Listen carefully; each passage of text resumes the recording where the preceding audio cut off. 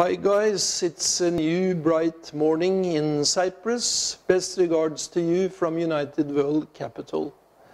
In the market last uh, yesterday and this morning, the euro is stronger against the US dollar, trading around 123.50 or uh, up about 50 points from yesterday. There is no special good uh, explanation why the euro is stronger, but uh, it seems that uh, some traders are now getting out of positions where they have been gambling against or gambling in favor of a weaker euro and a stronger US dollar. Um, the euro is still under a lot of pressure due to the situation inside the European area. Greece uh, came in with the GDP number, uh, numbers last night saying that the gross domestic product is down 6.2% for the last quarter. Uh, not very exciting numbers, but nevertheless, the market thought that this was a little bit better than expected and hailed the figures. Also, Germany came in this morning with uh, very low uh, growth, 0.1, 0.3%. That means that also the uh, locomotive of then growth in Europe, Germany, is starting to feel the burden of the European banking and sovereign crisis.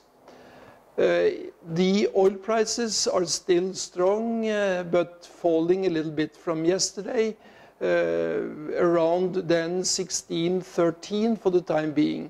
Gold prices are also falling a little bit. Most currencies are stable against the dollar.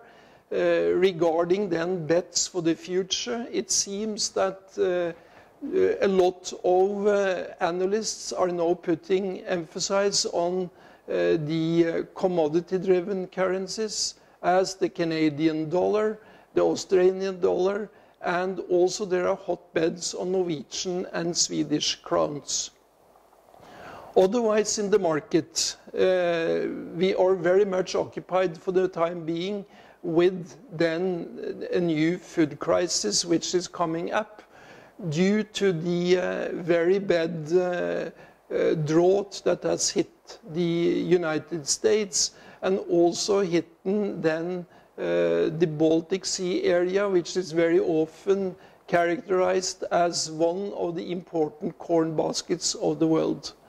Uh, there has been initiatives inside the group of 20 for then emergency meeting to avoid, let's say, then uh, a similar crisis that we had five years ago, where the food prices were exploding and uh, it created a very dramatic situation with starvation in many poor countries. I expect uh, today a rather quiet day in the market with then the reservation of uh, no big news.